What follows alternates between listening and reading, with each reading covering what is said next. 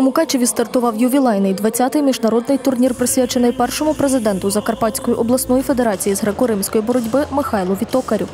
Турнір присвячений першому президенту Закарпатської Федерації Токарю Михайлу Івановичу. Він засновник Закарпатської області. Он объединил наш вид спорта в Закарпатской области. Это один из сильнейших турниров у нас на Украине, э, где збирається очень багато стран. Сюда привозят не новичков, только детей, которые вже пройшли певну підготовку. Для участі у змаганнях приїхали учасники із 10 країн світу. Сейчас очень э, хороший состав. Э, привезли сборные все страны э, на очень большом уровне. Я думаю, что у нас будут, э, по- надеюсь, что у нас тоже будут чемпионы.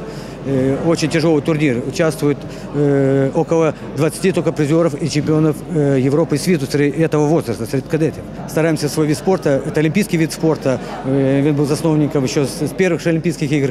І е, він є один із е, лідируючих видів спорту у нас теж на Україні. В цих змаганнях беруть участь молодші юнаки, е, е, молодші юнаки і кадети. Кадети вік е, е, 2001-2002 і 2003-2005. Сьогодні на урочистому відкритті висловили подяку усім, хто підтримує та розвиває цей вид спорту.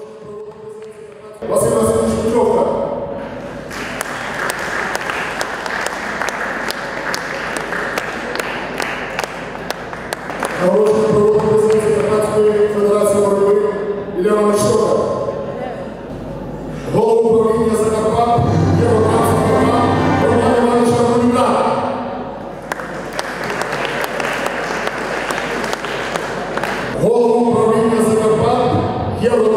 Івана Івановича Романюка. Голову управління Автоплюс ЛТД Володимира Івановича Гордія.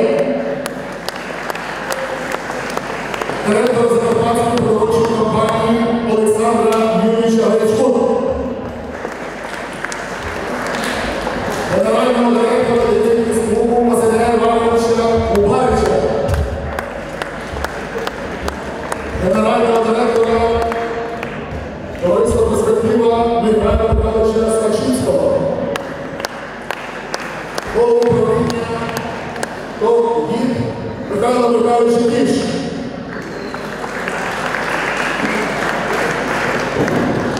Голову Мукачівської районної ради Івана Петровича Михайло. Начальник управління молоді та спорту обласної державної адміністрації Віталія Ергана.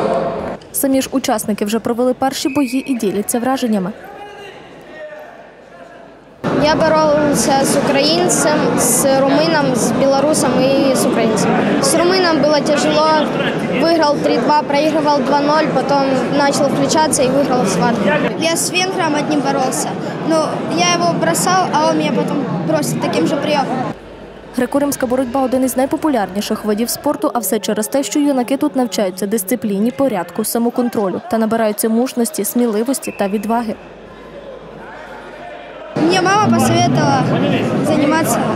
Это очень мужественный вид спорта. По-перше, це чоловічі якості, які потрібні в житті. Сьогодні учасники беруть участь у перших боях, де борються за вихід до півфіналу та фіналу. Вже у неділю стануть відомі імена переможців.